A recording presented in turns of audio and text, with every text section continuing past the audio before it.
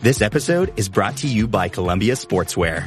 It's snowing again, and that wind chill is killer.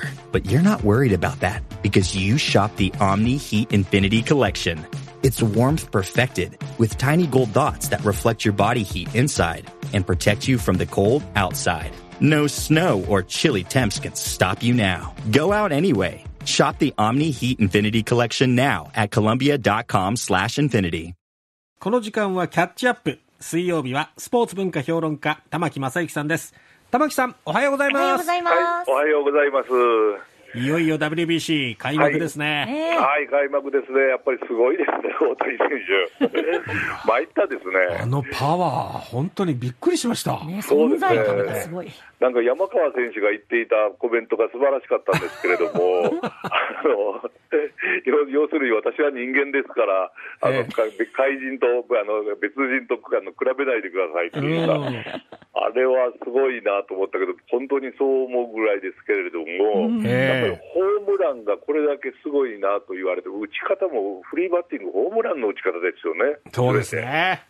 ねえ。えホームランなんて昔、まあ、全く価値なかったんですけどね、ね。そうでしたよね。ええ前、あの話、お話ししましたね、うん。戦前には全くホームランなんか記録にも残っていなかったと、うん。それで野村克也さんが、ええ。あ三冠王を取りそうなので、うん。戦前の記録を調べてみたら、ホームランの記録が出てきて、三冠王がいたというな中島春也選手。うん。こういう面白いことも日本ではあったぐらいでね、ええアメリカでもベーブ・ルースが出てくるまでは、ホームランなんていうのは、外野の間を抜けていくだけだったんですよね。うん。ですから、ベーブ・ルースがホームラン、どんどんこう外野のああの頭の上をののと飛ばしていくと、あんな卑怯な打球を打っちゃだめだっていう批判が出たぐらいですよね。うん。要するに野手が手を伸ばしても取れないボールを打つなという。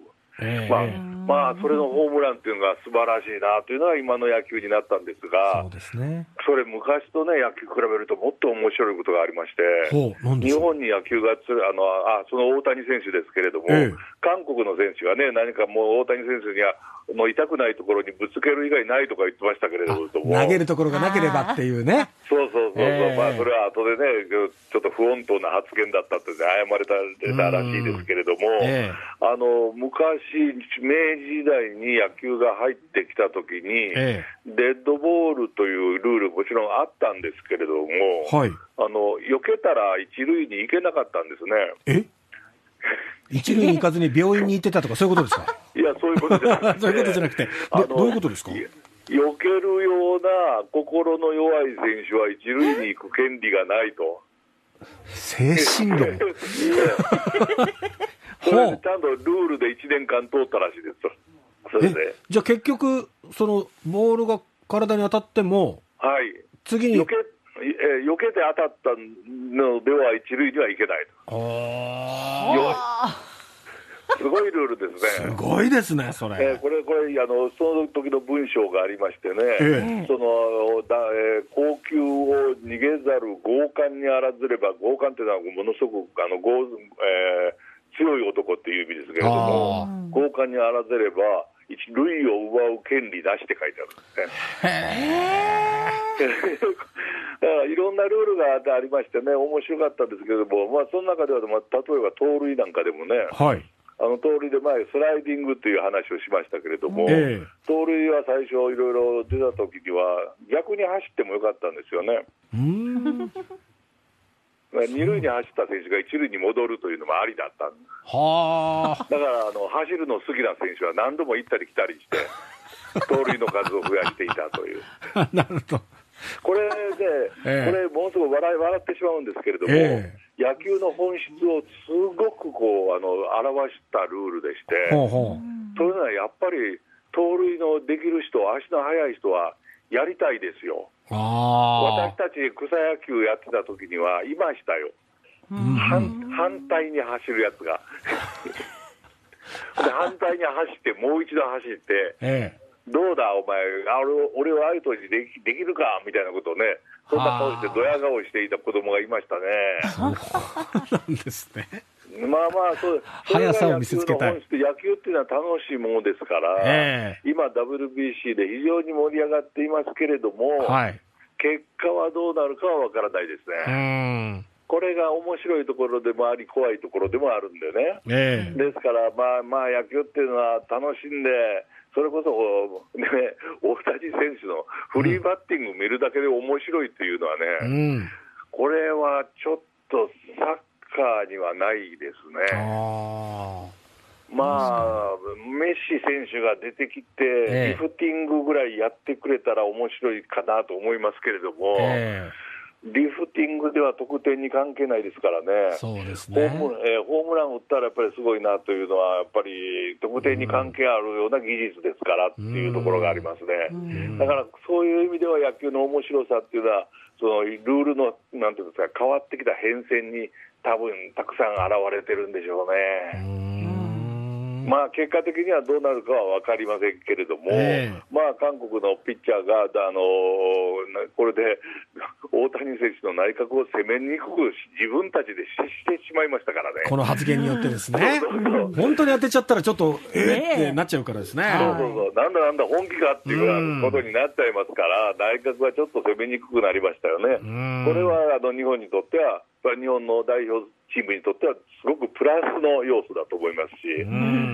ねそれにあの村上選手にもホームランが出ましたね、そうですね山川選手にも出ましたね。はあれやっぱりなかなかホームランっていうのは、まあ、すごいもんですね、考えてみれば。4番の重圧ってあったんですかね、強化試合とはいえね。まあまあたまたまですかね。まあ、あったんでしょうね、うん少しぐらいは。まあでも、まあ、もうこれで別にそれも吹っ切れてますからうん、大丈夫ですけれども、私がちょっと心配しているのは、なんでしょう？ピッチャーですね。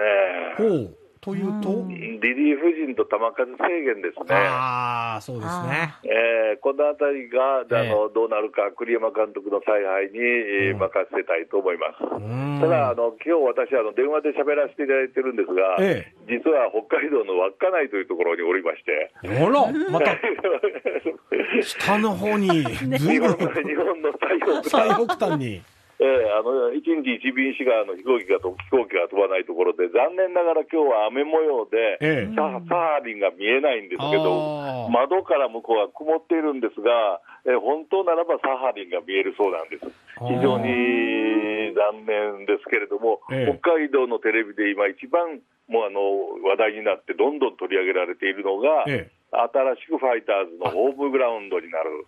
え、エスコンフィールド。そうなんですね。あそこはもう一つの街ですうね。ん。もうホテルからショッピングセンターから何からあって、その中に野球場があると。うん。いうことで、もうテレビが、昨日が、えー稚内に入ったんですけれども、テレビつけるたびにそのニュースが現れてました。はあやっぱりそういう意味でも野球の盛り上がりというのは、こう、ええなんていうんですか、あの、お地方の方からといいますか、あの地地に地についたところから、そうですこう、ね。生まれるっていうところはいいなと思いますね。注目したいと思いますし、片や WBC という一番トップのものがあって、うんえー片やその地についた動きもあるというのは、日本の野球にとってはプラスになると思いますね。うんそうですね。今シーズンは本当に野球がね、今年は盛り上がる一年になるかもしれませんね。今日はあのまえーマイナス1度ですんで、あったかいそうです。体調十分気をつけてはい取材なさってくださいね。あありがりがとうございました。はいありがとうございましたはい失礼しました。失礼いたします。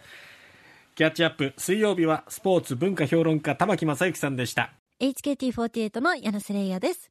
RKB ラジオでお送りしているガールズパンチ HKT48 の桃地山ラジオ局、ポッドキャストでもお楽しみいただけます。Apple、Spotify、Amazon Music、Google ポッドキャストなどで桃地浜ラジオ局と検索してフォローをお願いします。